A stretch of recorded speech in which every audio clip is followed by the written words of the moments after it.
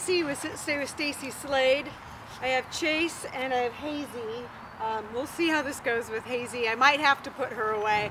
Um, I wanted to show a little bit about how I get Chase ready and up and practice our heeling a little bit before we, well, when we start to work. So she's uh, ready to go. She's focused. I usually don't have the puppy out here, um, but okay, Chase. So I get her attention and I focus on her. I'm looking at her. I have my Chase. It's good to have a really good distraction. So I'm just gonna do a little bit of heeling with her. Chase, Chase, heel.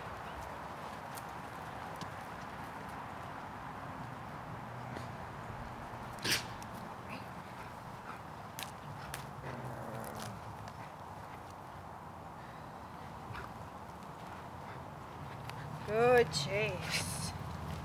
Yeah, so I've got her focus. And right here, we've got our little distraction, but you see that? Chase was on it. So we're gonna do another little heeling and work on our, on our, uh, our halts, excuse me, Chase.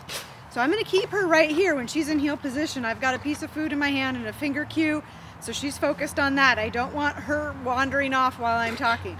All right, ready, Chase? Heel.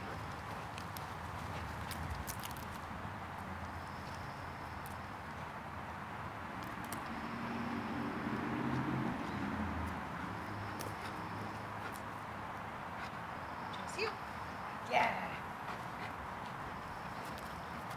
Yeah! Good girl. Oh, good girl.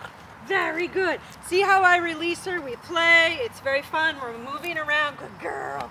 Good girl. And I bring her back up into me to keep her focused. So I always have something in this hand keeping her focused. And I'm going to take the leash off so Hazy can go play with the leash. Oh, good girl. All right, get in. So I'm going to work a little bit on pivots. Oh, there goes the leash. Chase, get in. Get in. Good. Come here, Chase. So I wanted her to get her behind straight when I moved over. Okay, ready, Chase? I'm going to do an easy one. Get in. Good. Get in. No. Yes, thank you. Good girl. Get in. Yes. So she just needed to figure out what I needed from her. And what I, all I'm doing is I'm just kind of moving my hips and saying, get in, get in, get in, get in.